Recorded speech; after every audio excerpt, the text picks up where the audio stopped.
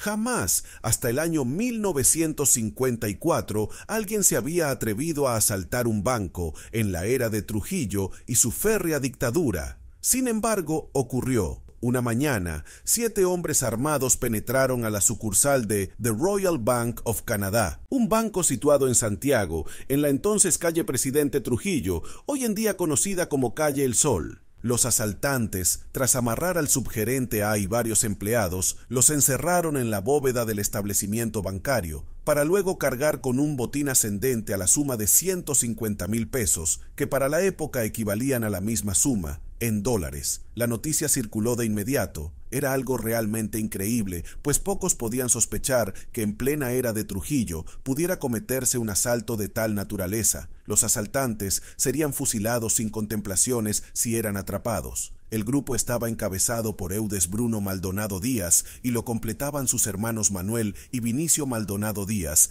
como también José Ulises Almonte, Cristóbal Martínez, Evaristo Carmona, Luis Sosa y Bienvenido Pichardo, alias el Chino. Todos entraron normalmente a la sucursal bancaria cuando un empleado les abrió la puerta, en la creencia de que se trataba de un asunto oficial, pues usualmente el banco no estaba abierto al público los sábados. La respuesta que recibió fue una actitud amenazante del grupo, obligándole a entregar la combinación de la bóveda donde estaba el dinero. Para abrir la bóveda se requiere de la actuación de dos personas, cada una con una combinación, a fin de tener una responsabilidad compartida. La otra combinación la tenía el empleado George Beltrán y fue obligado a abrir la bóveda. En cuestión de poco más de una hora, los atracadores dejaron al personal encerrado en la bóveda tras dar de baja al cobrador Francisco Persia Rodríguez y al mensajero José Manuel Fernández Núñez, probablemente porque mantuvieron siempre la vista fija en los rostros de los intrusos, con el fin de reconocerlos posteriormente. El cadáver de Núñez fue encontrado dentro de un armario destinado a guardar papeles. El infeliz había sido golpeado brutalmente por los asaltantes, que hicieron lo mismo a Persia Rodríguez en el interior de un baño. Hay un refrán que dice que el diablo nunca duerme, pues cuando los asaltantes llegaron al banco, un vendedor de billetes le ofreció uno que coincidía plenamente con la placa del carro en que llegaron, lo cual molestó muchísimo a Eudes, aunque sin mayores consecuencias. Posteriormente, ese billetero aportaría el dato a las autoridades, lo que más tarde permitió establecer la ruta del grupo en Ciudad Trujillo, la capital. Cometido el asalto en Santiago, sus autores enfilaron hacia Ciudad Trujillo sin ser molestados en los puestos de chequeo de entonces a cargo del ejército. El carro en que viajaban por la sinuosa carretera Duarte había sido preparado por Almonte, un excelente mecánico, para que desarrollara mayor potencia. Eso les permitió llegar a la capital o ciudad Trujillo en hora y media, cuando entonces lo normal era que el viaje durara unas tres horas por la antigua carretera Duarte llena de hoyos. Los empleados, desesperados al encontrarse recluidos y casi sin aire, hicieron un esfuerzo común y lograron romper el cristal de la puerta interior de la bóveda para entonces gritar pidiendo auxilio, pues de nada valieron el uso de acetileno y mandarriazos. El gobierno dijo entonces que Trujillo, personalmente, se puso al frente de las investigaciones a tal punto que la noche del asalto permaneció en su despacho hasta la madrugada. La Guardia y los demás servicios de investigación fueron movilizados hasta que recibieron una nueva pista, la del entonces raso de la Policía de Tránsito Simón Tadeo, que estaba de servicio cuando pasó el carro de los asaltantes por la entonces avenida Jeffrard, actual Abraham Lincoln. Tadeo Guerrero diría luego que el auto era conducido por una persona con camisa negra y de cuello alto, por lo que creyó que era algún sacerdote en apuros, razón por la cual no lo detuvo. Pero al enterarse del asalto, comunicó a sus superiores tales datos, incluido el número de la placa del carro. Mientras tanto, Trujillo ofrecía una recompensa de diez mil pesos a todo aquel que brindara una pista que condujera al apresamiento de los asaltantes. La gerencia del banco, The Royal Bank, también ofreció otra recompensa a los investigadores cuando los asaltantes fueran apresados pero Trujillo le envió una carta al gerente diciéndole que los militares que participaban en las pesquisas solo cumplieron con su deber, sugiriéndole que la suma ofrecida fuese donada a instituciones de caridad, entre ellas la Cruz Roja, como en efecto hizo el banco. Para el día siguiente, el domingo a la una y treinta de la mañana, los asaltantes estaban presos. Seis fueron detenidos en la capital y Pichardo Saleme, alias el Chino, en San Pedro de Macorís. Manuel Vinicio Maldonado Díaz, hermano adoptivo de Eudes, pero a quien se les habían dado los dos apellidos, fue el delator de los demás. Su creencia era que si cooperaba con las autoridades le iría bien, una verdadera ingenuidad en una dictadura. La primera vivienda en ser allanada fue la del chofer Ulises Almonte y Almonte, en la calle José Martí, donde fue detenido Vinicio Maldonado Díaz en el momento en que se bañaba.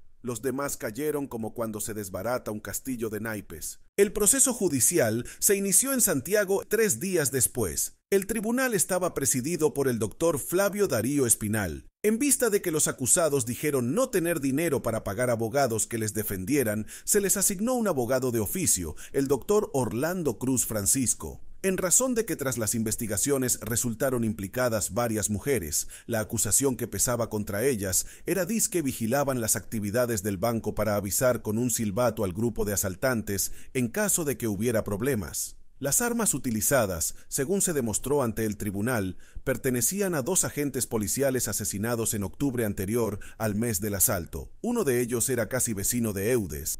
Como parte de una farsa sin parangón, Trujillo conmutó la pena a los acusados. Sin embargo, un día después de la sentencia, los principales implicados en el asalto fueron llevados a realizar labores de chapeo o trabajos públicos al sitio denominado Los Platanitos o en Sánchez San Rafael, donde actualmente se encuentra el Estadio Cibao de béisbol. Según se publicó entonces en páginas interiores del periódico El Caribe, el grupo fue muerto, cuando de manera audaz intentaron una fuga en masa mientras realizaban trabajos en un campo militar situado en el ensanche San Rafael. Un comunicado oficial dijo que los presos trabajaban con machetes y obedeciendo a una señal esgrimieron dichas armas en un intento de sorprender a los custodios, pero fracasaron en un último y desesperado atentado criminal. Murieron abatidos a balazos por los agentes del orden. Solamente José Ulises Almonte se salvó del ametrallamiento, pues se encontraba realizando trabajos de mecánica en la Fortaleza San Luis, de Santiago, entonces comandada por el coronel Ludovino Fernández, quien habría de pagar las consecuencias al ser considerado responsable del asesinato de los presos, por lo cual fue sometido a la justicia. Otros decían que Almonte y Almonte no fue muerto, porque supuestamente había sido chofer de Ramfis Trujillo, primogénito del dictador, quien le habría pedido que no lo mataran. Otros afirman que, en realidad, Almonte y Almonte fue ejecutado en la misma fortaleza, pues al haber sido militar se quería dar un ejemplo ante los demás soldados para que no asesinaran a sus compañeros de armas, como ocurrió con los policías cuyos revólveres fueron robados tras asesinarles. Naturalmente, estas son especulaciones. El gobierno, entonces dirigido por el presidente títere Héctor Bienvenido Trujillo, lamentó las muertes de los presos, cuyos cadáveres permanecieron horas muertas en el sitio donde se materializó la ejecución, mientras un público curioso, previamente convocado por emisoras radiales de Santiago sometidas al gobierno, presenciaba la dantesca escena. Como cruel colofón a toda esta farsa, Trujillo ordenó la entrega de un cheque por mil pesos a Griselda y a Romualda Esperanza Maldonado Díaz, quienes supuestamente escribieron una carta al dictador en la que decían estar conformes con la decisión del tribunal que condenó a sus hermanos, quejándose al propio tiempo de que estaban en una miseria terrible y nuestros esposos se nos han ido y no tenemos siquiera para la comida, mucho menos para la manutención de nuestros hijitos. Muchos antitrujillistas llegaron incluso a simpatizar con los asaltantes, no porque justificaran su acto de delincuencia, sino porque tuvieron el valor de desafiar a Trujillo en momentos en que se requería tener el suficiente material colgante para hacerlo.